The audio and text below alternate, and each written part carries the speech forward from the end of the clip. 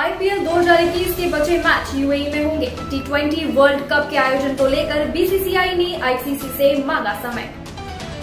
भारतीय cricket board ने online विशेष आम बैठक में निलंबित इंडियन प्रीमियर लीग यानी आईपीएल 2021 के बाकी बचे मैचों को सितंबर अक्टूबर में यूएई में कराने का फैसला कर लिया है।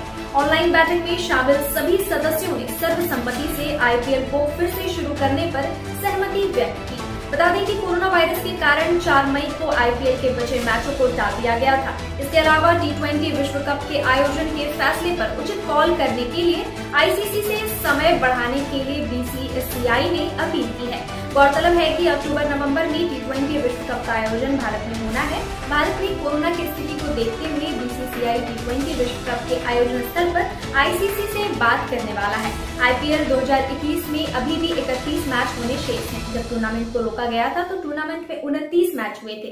कोरोना वायरस के बढ़ते खतरे को देखते हुए बीसीसीआई ने टूर्नामेंट को अनिश्चितकाल के लिए रोक दिया था। आईपीएल के दौरान खिलाड़ियों में कोरोना के लक्षण पाए गए थे। जिसके बाद बीसीसीआई को यह फैसला करना पड़ा था। आईपीएल 2021 के बाकी बचे मैचों का आयोजन 19 या 20 सितंबर को हो सकता है। फाइनल मैच यूएई में 10 अक्टूबर को खेला जाएगा। बीसीसीआई इस बार 10 डबल हेडर मैच शेड्यूल में रखने वाले हैं, जिससे टूर्नामेंट को कम अवधि में पूरा किया जा सके।